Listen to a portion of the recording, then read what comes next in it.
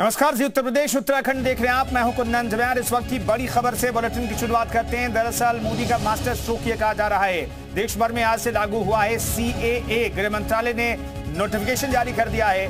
नागरिकता देने का नियम तय किया गया है। देश में पहली बार लागू हुआ है सी दरअसल, ये कानून 2019 में केंद्र लेकर के आया था, केंद्र सरकार लेकर के आई थी, लेकिन कोरोना के बाद इस, इसका नोटिफिकेशन जारी नहीं किया गया। कोरोना के दौरान भी ज़बरदस्त तरीके से विरोध चलता रहा। बाद में यह आंदोलन खत्म हुआ। सीए के विरोध, जो आंदोलन चला था, वो खत्म हुआ। और इस वक्त की बड़ी खबर आप बता रहे हैं, सीए लागू होने के बाद बीजेपी की तरफ़ से ट्वीट किया गया, उत्तर प्रदेश बीजेपी की तरफ़ से। जो कहा, सुखिया, बीजेपी की तरफ़ से कहा गया है। देश भर में सीएए लागू किया। बीजेपी ने यह वादा किया था और इसे पूरा किया। जो कहा, वो सो किया ये बीजेपी की तरफ़ से अब ट्वीट किया गया है।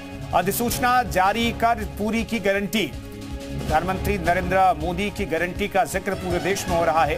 प्रधानमंत्री खुद इस गारंटी का ज़िक्र कर रहे हैं। उत्तर प्रदेश में मुख्यमंत्री योगी आदित्यनाथ इस गारंटी का ज़िक्र कर रहे हैं और इसीलिए बीजेपी ने भी कहा कि जो कहा, सो किया। मयूर शुक्ला हमारे सहयोगी, इस खबर पर बातचीत करने के लिए सीधे जुड़ रहे हैं। मयूर, जो कहा, सो किया। ठीक है, लंबा इंतज़ार करना पड़ा और ठीक चुनाव से पहले। क्या वाकई ये मास्टर स्ट्रोक है प्रधानमंत्री मोदी का? बिल्कुल देखिए भारतीय जनता पार्टी अपनी टाइमिंग के लिए जाना जाती है फिर वो कोई भी चुनाव देश भर में हो चाहे लोकसभा चुनाव हो या विधानसभा चुनाव किसी भी राज्य में हो ऐसी टाइमिंग पर ऐसे फैसले लाते हैं जिसका प्रभाव बहुत बड़ा प्रभाव हम कहें तो वो चुनाव पर पड़ता है। 2019 के इनके मैनिफेस्टो में ये बात शामिल थी कि वो सी कानून इस देश में लागू करेंगे। लेकिन कोरोना काल के चलते ये लगातार खिंचता रहा उसके बाद जब लाने का प्रयास किया गया तो देश भर में जिस तरीके से दंगा हुआ जिस तरीके से प्रदर्शन किया गया एक भ्रम फैलाने की कोशिश की गई अब धीरे धीरे जब मामला ठंडा हुआ तो लोकसभा चुनाव से ठीक पहले, यानी कि आचार संहिता लगने से ठीक पहले इतना बड़ा ये जो कानून है, वो धीरे से लागू कर दिया गया। हालाँकि बात ये कही जा रही थी कि प्रधानमंत्री मोदी खुद आकर टीवी चैनल्स पर आके इसका जो है इसके बारे में जानकारी देंगे, लेकिन ऐसा हुआ नहीं। हालाँकि अलर्ट पूरे प्रदेश में जारी किया गया है और जो हर ज़िले के डीएम है, उनको भी अलर्ट पर रहने को कहा गया है कि वो जो संवेदनशील इलाके हैं, वहाँ पर पुलिस फोर्स तैनात रहे। डीजीपी की तरफ़ से भी अलर्ट जारी किया गया, लेकिन विपक्ष हमलावर है, दो पार्टियाँ एक ममता बनर्जी को बंगाल में जो उनका बयान सामने आया दूसरी तरफ़ अखिलेश यादव ने उत्तर प्रदेश में जो ट्वीट किया है उन्होंने ये बात कही है कि भारतीय जनता पार्टी ये जवाब दे कि 10 सालों से उनके राज में जो देश छोड़ के लोग चले गए उनके बारे में बताएँ। और जब यहाँ के लोगों को रोजी रोटी नहीं मिल रही है वो कमाने के लिए बाहर जा रहे हैं तो बाहर के लोगों को यहाँ पे नागरिकता क्यों दी जा रही है? बड़ी खबर बता देते हैं। फिर लौटता हूँ आपके पास। दरअसल सीए को लेकर के यूपी में भी अलर्ट जारी किया गया है। डीजीपी ने सभी जिलों में अलर्ट जारी कर दिया है। धर्मगुरुओं ने की है शांति बनाए रखने की अपील। सोशल मीडिया पर प्रशासन की पहली नज़र भी है। लखनऊ में पहले से लागू है धारा 144 और अलर्ट भी जारी किया गया है। हमारे सहयोगी मयूर इस खबर पर बातचीत करने के लिए लगातार लाइव जुड़े हुए हैं। मयूर, अलर्ट जारी किया गया है। कौन कौन से ऐसे ज़िले हैं जहाँ पर ज़्यादा आशंका है किसी बवाल की और अलर्ट किन किन जिलों के लिए खासतौर पर? क्योंकि हमने देखा था सीए के विरोध में जब प्रदर्शन हो रहा था तो लखनऊ एक एपी सेंटर था जहाँ पर लोग इकट्ठा हो रहे थे और महीनों तक प्रदर्शन चला था।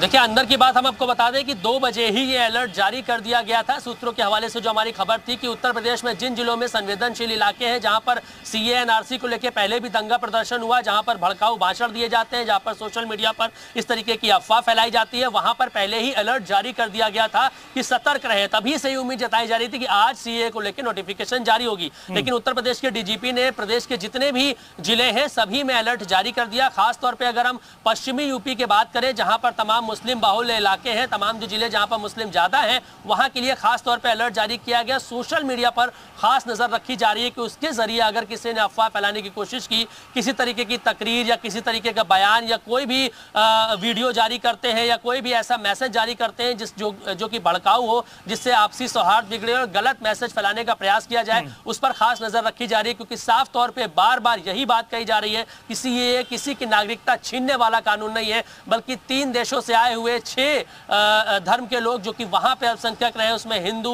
बौद्ध जैन ईसाई और भी धर्म के जो लोग जो लोग शामिल है पारसी उनको ये नागरिकता देने का कानून है क्योंकि वो वहाँ पर प्रताड़ित किए गए परेशान किए गए हम्म। उनके पास भारत आने के अलावा और कोई भी रास्ता नहीं है हिंदू धर्म का व्यक्ति अगर दूसरे देश से कहीं जाएगा तो वो तो वो अपने भारत ही आएगा वो कहीं और नहीं जाएगा तो मानवतावादी सोच को बढ़ावा देते हुए सरकार ने ये बात कही है कि हम इसको लागू कर रहे हैं और भ्रम बिल्कुल भी फैलाया ना जाए हम्म। ममता बनर्जी साफ़ कह रही है कि हम अपने राज्य में इसको लागू नहीं होने देंगे। तो एक माहौल बनाने का प्रयास नज़र बनाए रखिए दोबारा आपके पास लौटेंगे।